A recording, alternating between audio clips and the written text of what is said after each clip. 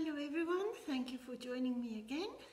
So, we are in the season of spooky things, and I thought today I could show you how to make a spooky old jack o' lantern Halloween lantern for your decorations in the house. And it's quite easy and quite quick. So, what do we need to do this craft? Well, Let's get this into the picture. And here we go. We are going to need some pumpkin colored papers. Any color you like that's pumpkiny. Or if you want to make an old skeleton face, then you need white stiff paper or stiff card. We're going to need a pipe cleaner for the handle but you don't have to. If you have strips of paper, if you kept all your snips, you might have strips of paper you can use. You're going to need a ruler and a pencil because we're going to be doing some measuring. You're going to need a black marker pen because we have to draw the scary old face. We're going to need our scissors. We're going to need something to poke holes with. I've got this handy clippy thing, but if you don't have it, you can use the tip of your scissors. Mom and dad will have to help. This is sharp pointy things. You don't want to poke your eyes out. You're going to need a stapler.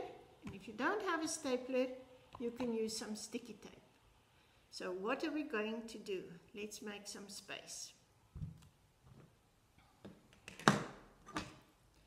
Mustn't put my things too far away because I might yet need them. So First of all, we draw a scary old face on our piece of card.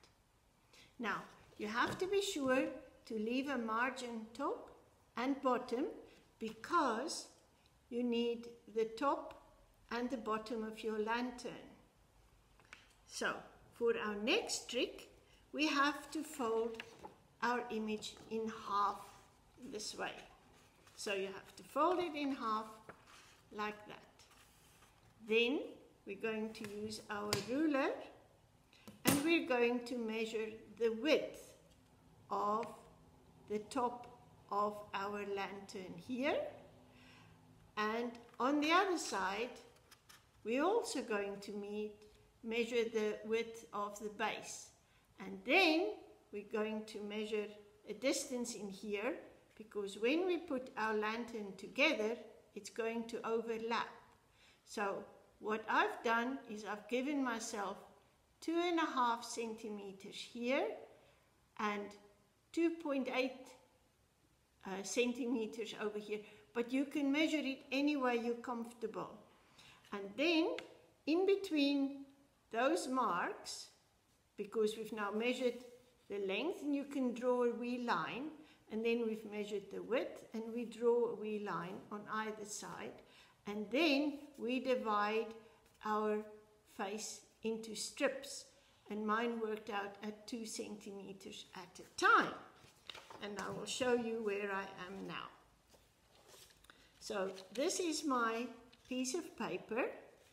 So there's my two and a half centimeters, two and a half centimeters, 2.8 and then 2, 2, 2, 2, 2.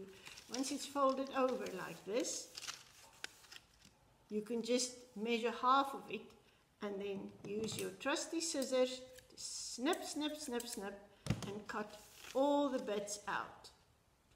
So then you open it up, there's your scary face and the next step is we turn it around so that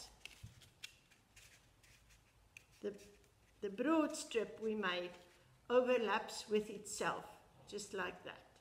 And this is where we use our sticky tape or our stapler. Ready, steady. Oops, mine shifted. You really don't have to be this precise. The measuring police will not come for you. So, now that's fastened. And there's my lantern nearly done. All I need are two holes so that I can put my handle through it.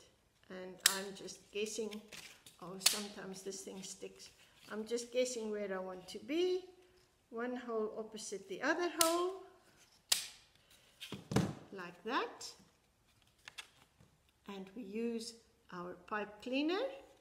And we put it through the hole and just bend it back on itself.